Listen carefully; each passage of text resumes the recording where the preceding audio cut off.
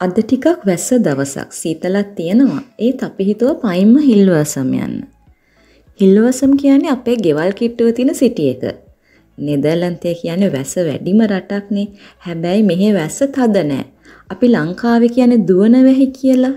ඒ වගේ ටික ටික පොඩි පොඩි වැස්ස තමයි එන්නේ. ඒ නිසා මෙහි සෙනඟ කුඩ ඉහලන්න නැතුවම ජැකට් එකක් විතරක් දාගෙන වැස්සේ තෙමි තෙමිම යනවා. බබාලටත් කුඩ ඉහලන්නේ නැහැ. ඉතින් අපිත් හිතුවා බස් එකේ යන්නේ නැතුව පයින්ම යන්න ඇඟටත් හොඳයිනේ. අපිත් පයින් යනකොට පොඩි වැස්සකට අහු වුණා. ඒත් ගොඩක් දෙමුන්නේ නැහැ. අද අපි යන්නේ විශේෂ වැඩකට.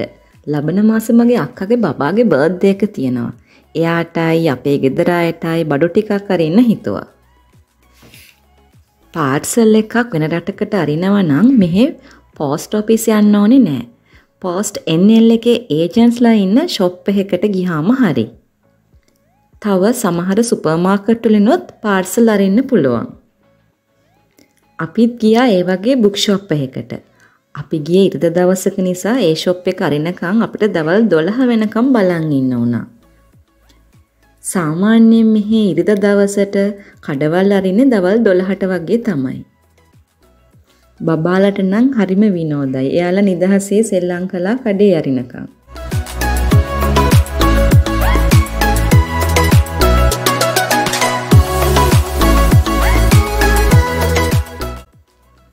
ලංකාවේදී නම් අපි පාර්සල් එකක් අරිනකොට පෝස්ට් ඔෆිස් එකට ගිහිල්ලා බඩු එකින් එක පෙන්නලා එතනින් දෙන බොක්ස් එකකට දාලානේ බර බලලා යවන්නේ.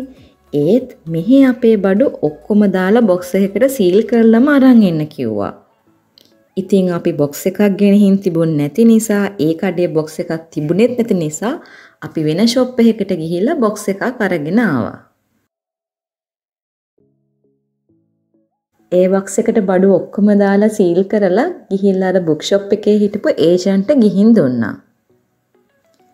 එයා ඒකේ බර බැලුවාම කිලෝ 3ක් විතර තිබුණා.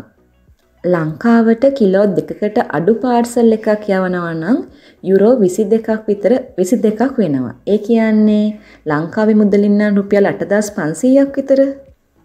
කිලෝ 2යි කිලෝ 5යි අතර බර පාර්සල් එකක් අරිනවා නම් යුරෝ 45ක් වෙනවා. ඒ කියන්නේ රුපියල් 18000ක් විතර වෙනවා. ඉතින් අපටත් යුරෝ 45ක් ගෙවන්න වුණා.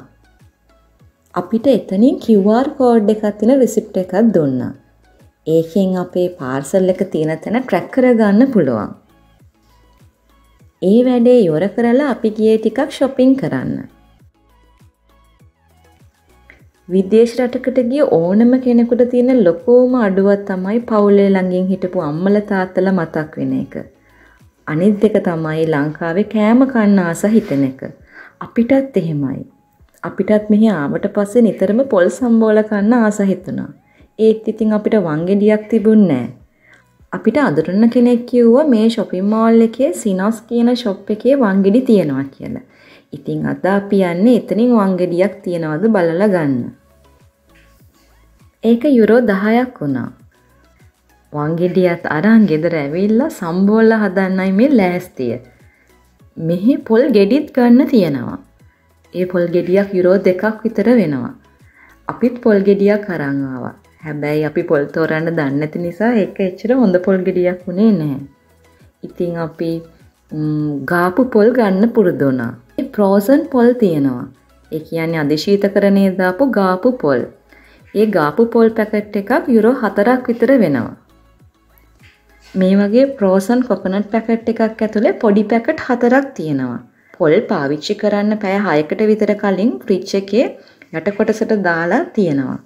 හදන්න පැය භාගයකට විතර කලින් එළියට ගන්නවා. බබාලා සම්බෝල කන්න නැති නිසා මේ පැකට් එකකින් භාගයක් ගත්තාම අපි දෙන්නට හොඳටම ඇති. බබාලටත් අලුත් වංගෙඩියෙන් කොටන්න හරි ආස හිතුණා. ඒකොල්ලොත් මාත් එක්ක එකතු වෙලා සම්බෝල හැදුවා. මෙහි ඉන්දියාප පිටි පැකටුත් ගන්න තියෙනවා. ඉන්දියාප පිටි පැකට් එකක් යුරෝ හතරක් විතර වෙනවා. අපි ඉන්න මේ හිල්වර්සම් සිටිය එකේ ලංකාවේ යාපනය කට්ටියක් කරන කඩයක් තියෙනවා. ඉතින් මේ කඩේ අපි ලංකාවේදී පාවිච්චි කරන ඕනම බඩුවක් ගන්න තියෙනවා. ඉතින් අපි ඒ කඩෙන් තමයි මේ ඉන්දියාප පිටි පැකට් පොල් ඒ වගේම රම්පේ කරපිංච වගේ ඕනම දෙයක් අපිට ඒ කඩෙන් ගන්න පුළුවන්.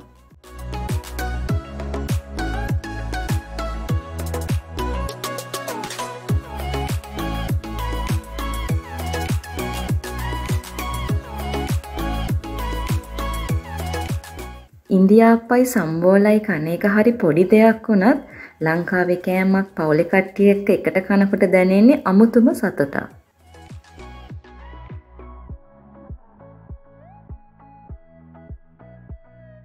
අපි සම්බෝල හදලා ඉන්දියාප තම්බල උණු උණුවෙන්ම කෑවා.